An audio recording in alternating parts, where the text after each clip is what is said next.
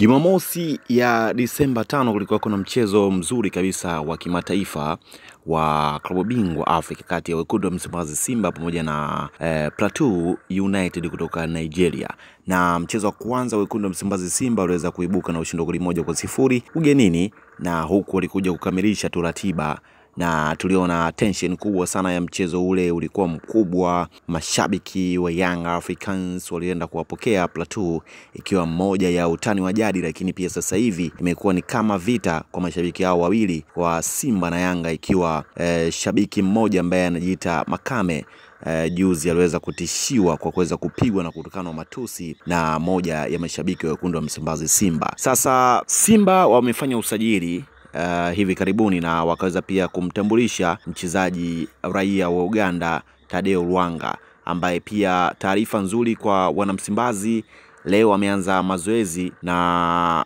ameweza kufanya mazoezi yake ya kwanza kabisa katika uwanja wa mazoezi wa wekundu Msimbazi Simba Mo Simba Arena kule Bunju Complex, na ameweza kupewa namba nne bila shaka, ambaye alikuwa anaivaa Gelson Fraga Mbrazili, ambaye pia alitemwa kwa ajili ya majeruhi ambayo alipata ya muda mrefu na kuweza kuachana naye wekundu Msimbazi Simba. Taarifa nzuri kwa mashabiki wa Simba, lakini pia uh, wekundu Msimbazi Simba e, ratiba imeshatoka na mara baada ya kuweza kupita katika hatua inayokuja sasa rasmi tarehe ishirini na mbili au tarehe ishirini na tatu mwezi huu Disemba, uh, pale Harare Zimbabwe, utapigwa mchezo mkali kabisa kati ya FC Platinum pamoja na wekundu wa Msimbazi Simba. Hawa FC Platinum ni timu ambayo anaichezea Mtanzania Eliasi Magul pamoja na Mzimbabwe pia alishaye kutumikia klabu ya Young Africans pamoja na Azam FC. Uh, Donald Ngoma wapo kule na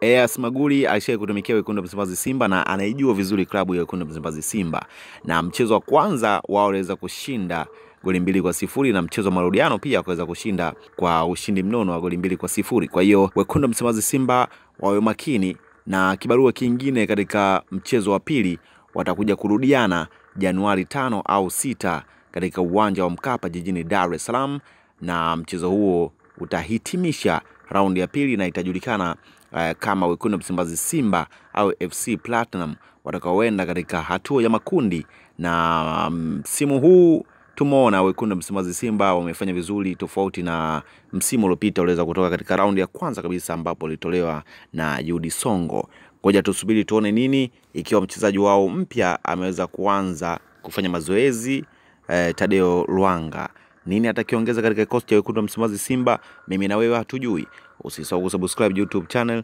harakati za Bongo pata info zote za michezo. Jina langu naitwa Mane Ndimbo, kulikipa bonge zili Tanzania nzima. Asante.